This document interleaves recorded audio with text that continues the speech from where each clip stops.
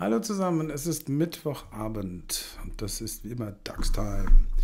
Wir haben 17.34 Uhr, DAX macht noch seinen Schlusskurs und er geht ein bisschen tiefer. Eben waren wir noch bei 14.040, jetzt sind wir bei 14.010. Mal gucken, wo er gleich landet. 17.34 Uhr, wie gesagt, und das ist der Mittwoch DAX, der ein bisschen aggressivere. Also, wir haben es nicht geschafft, diesen Trendkanal zu verlassen. Ja, er war hier drüber.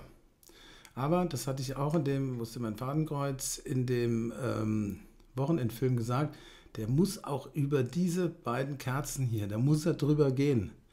Und da hat er ziemlich kläglich versagt. Hier war das Hoch bei 2,26 und hier war es bei 2,17. Das hat er schlicht das war wichtig. Ähm, ich habe in den letzten Jahren immer mal wieder versucht, sagen wir mal eher am Anfang, also vor 35 Jahren, immer mal wieder versucht, hier anzunehmen, dass wir drüber gehen. Ja, ich sag mal, das war eine 50-50 Chance. Ich hätte auch den hier nicht gekauft. Der muss hier drüber schließen. Ich mache das mal ein bisschen größer. Der muss also hier über den Hochkurs bei 14.226 Xetra, muss er drüber gehen und schließen. Da haben wir nämlich gleich das nächste Ding hier. Das hier hat wirklich nicht gereicht, auch wenn das, ich glaube, es waren 80 Punkte. Dieser Trendkanal, da sind wir jetzt wieder drin. Obwohl das heute eine sehr schöne Kerze war, runter auf die 20-Tage-Linie. Eingangskurs, gleich Ausgangskurs, ein Doji, aber ein Doji mitten im Geschehen, mittendrin, hat keine Aussage. Das muss schon ein Doji sein, der entweder hier drüber ist oder hier drunter ist der so, also wie so eine Art Solitär dasteht, dann hat er mehr Aussage. Hier mittendrin sagt er nicht viel, obwohl es eine schöne Kerze ist, muss ich wirklich sagen. Gefällt mir gut. DAX schließt, wenn ich das richtig sehe, mit 0,59% im Plus. Es ist in Ordnung. Das ist fein. Es reicht aber noch nicht. Dennoch, einmal, zweimal, dreimal, viermal, fünfmal, sechsmal, gestern siebenmal. Der probiert es immer weiter. Das kann man jetzt so interpretieren dass man sagt, der klebt am oberen Trendkanal und will da unbedingt drüber. Man kann es aber tatsächlich auch so sagen, der klebt am oberen Trendkanal und schafft es nicht. Das ist ganz, ganz blöde Situation. Deswegen, ich mache mir das möglichst einfach. Ich werde jetzt hier gar nichts handeln. Ich werde warten, wenn wir die 14.228 rausnehmen. Und das ist noch ein bisschen, das sind noch 200 Punkte hin. Natürlich spiele ich zwischendurch, ja, aber für die nächsten, sagen wir mal, 500 Punkte ist das wichtig. Und ähm, ansonsten halte ich mich im DAX raus. Ich bin, das mal um es gleich zu sagen, ich hole mal meinen Taschenrechner. Ich hatte das neulich erwähnt, diese Position, den DAX, der jetzt bei 14.000 steht, ähm, möchte ich eigentlich tendenziell short gehen gegen den Nasdaq. Und der ist jetzt bei 11.826 ich bin diese, also ich will den Spread handeln. Ja. Ich bin der Meinung, dass der Abstand vom Nasdaq ist zu groß zum DAX. Und nochmal, diese Position oder diese Indizes haben nichts miteinander zu tun. Der war bei 2250, der war sogar ganz kurz bei 2300.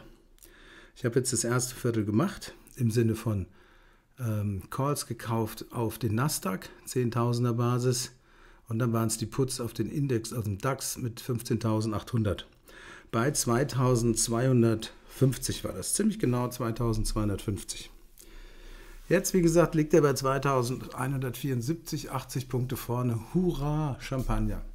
Aber ich bin der Meinung, das Ding geht deutlich weiter zusammen. Das nochmal ganz kurz nebenher. Zurück zum Index, also zum DAX selbst hier. Vom MACD auf Tagesbasis sehe ich nichts. Das ist ja lang, kurz, ein bisschen kürzer, finde ich aber jetzt noch nicht schlimm. Wir haben, jetzt muss ich das ein bisschen hochdröseln, einen völlig intakten Stochastik-Oszillator. Da ist kein Signal. Die Bänder laufen parallel in einer normalen Range, ist nichts zu sagen.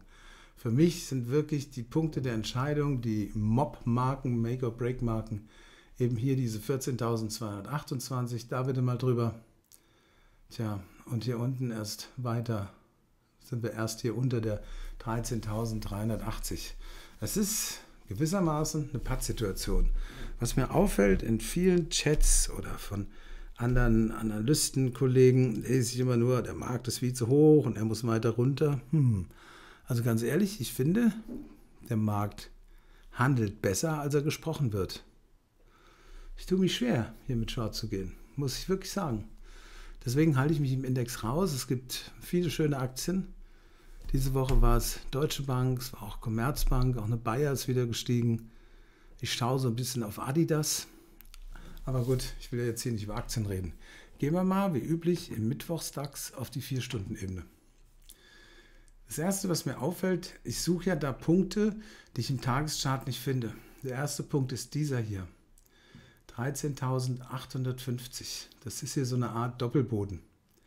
Der ist wichtig nach unten. Da sollten wir hier runtergehen. Unter die 13.850 muss ich davon ausgehen, dass wir auch die 13.674, das 50er Retracement, was wir neulich gesehen haben von der langen Bewegung, ähm, dass wir das nochmal sehen. Ansonsten gilt hier oben also auch der Punkt, der war jetzt heute bei äh, 14.093, ähm, gilt auch der weiterhin als Widerstand, ganz klar. Von der Technik auf 4-Stunden-Sicht sind wir völlig neutral über den Trendfolger und ganz, ganz leicht positiv über die Stochastik. Aber das ist nicht so, worauf ich mich verlassen würde. Auch hier tendenziell eher neutral. Ist sogar auf dem 20er gleitenden Durchschnitt ziemlich genau drauf. Ja, ist nicht, ist, ist, ist nicht, nicht, nicht deutlich genug. Gehen wir nochmal runter auf die Stunde.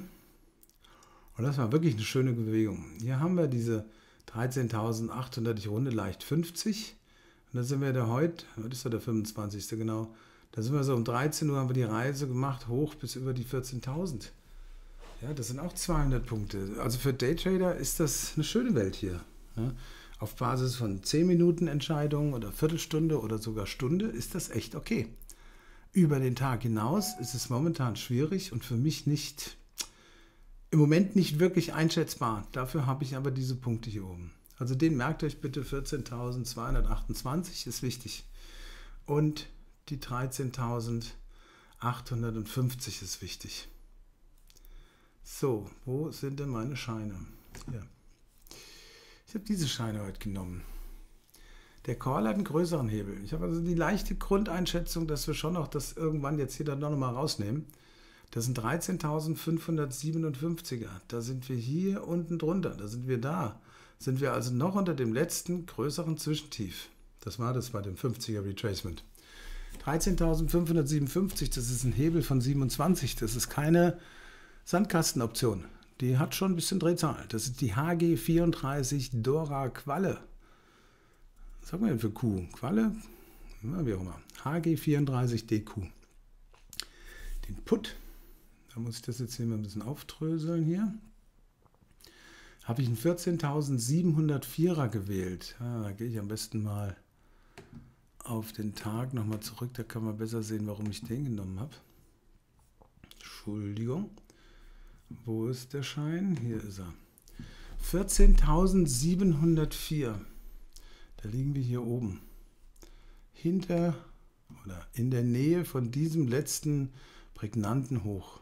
14.704. Und das ist die Kennnummer HG227Q. Der hat jetzt im Moment nur einen Hebel von 20. Das ist aber auch keine kleine Option. Da kann man viel Spaß mit haben. Den würde ich dann nehmen, wenn wir unter der 13.850 sind. Gut.